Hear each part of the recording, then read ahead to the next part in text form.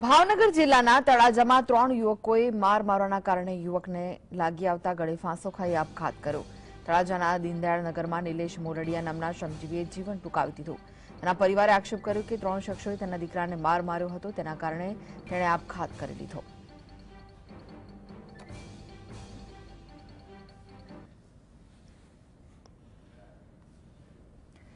ગુજરાતમાં છસો કરોડનું ફુલેકું ફેરવનાર રાજકોટના ફુલેકાબાજ અક્રમ અંસારીને સીઆઈડી ક્રાઇમે ઝડપી પાડ્યો. વિશ્વામિત્ર ક્રેડિટ સોસાયટીના નામે દુકાન ખોલી તેણે પંદરસો લોકો સાથે છેતરપિંડી કરી હતી. માત્ર રાજકોટ નહીં, પરંતુ જૂનાગઢ, સુરેન્દ્રનગર સહિત રાજ્યના વિવિધ શહેરોમાં વિશ્વામિત્ર ક્રેડિટ સોસાયટીના નામે દુકાન ખોલી હતી તેમજ છેતરપિંડી આચરી હતી.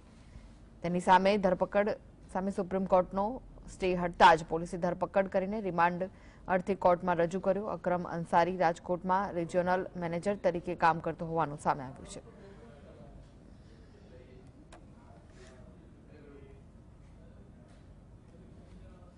તો સુરત ક્રાઇમ બ્રાન્ચે મોબાઈલ ટાવર ઉપર લાગેલા નેટ કનેક્ટિવિટી એબીએ કાર્ડની ચોરી કરતા બે શખ્સોને ઝડપી પાડ્યા. બંને શખ્સો મોજશોખ પૂરા કરવા માટે એબીએ કાર્ડની ચોરી કરતા હોવાની કબૂલાત કરી. ઝડપાયેલા બે પૈકીનો એક આરોપી અભિષેક ઉર્ફે બબલુ મોબાઈલ કંપનીમાં પ્રોજેક્ટ એન્જિનિયર અને ટેકનિશિયન તરીકેનું કામ કરે છે. આરોપી મોબાઈલ ટાવરના એબીએ કાર્ડની ચોરી કરવા માટે કંપની બદલી નાખતો હતો. આરોપીઓ દ્વારા લિંબાયતમાંથી એક પોઈન્ટ સાહીઠ લાખ, કડોદરમાંથી એક પોઈન્ટ સાહીઠ લાખ અને માંડવી પોલીસ મથકની હદમાંથી એક પોઈન્ટ છવ્વીસ લાખની કિંમતના એબીએ કાર્ડની ચોરી કરી હતી. બંને ટેકનિશિયન તરીકે મોબાઈલ ટાવર ઉપર જઈને એબીએ કાર્ડની સરળતાથી ચોરી કરતા હતા અને આરોપી લખનકુમાર વ્યવસાય ઓટો રિક્ષા ચાલક છે, જે ચોરીનો માલ રણજીત નિષાદ નામના શખ્સને મોકલાવી આર્થિક લાભ મેળવતા હતા.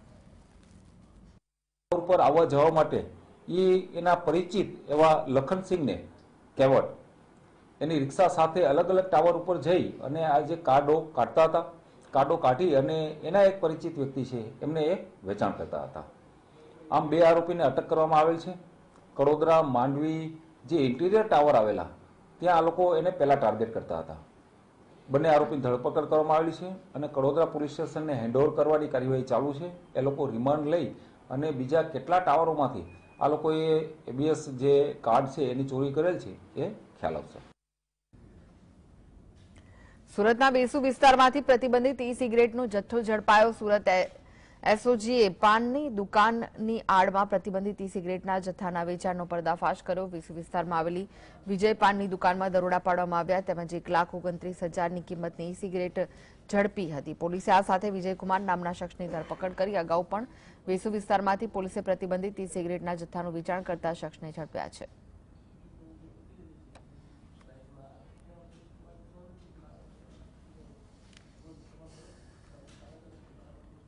સુરત ક્રાઇમ બ્રાન્ચે મોબાઈલ ટાવર ઉપર લાગેલા નેટ કનેક્ટિવિટીના એબીએ કાર્ડની ચોરી કરતા બે શખ્સોને ઝડપી પાડ્યા હતા. તો ઝડપાયેલા બે પૈકીનો આરોપી, એક બબલુ મોબાઈલ કંપનીમાં પ્રોજેક્ટર એન્જિનિયર તરીકે કામ કરે છે.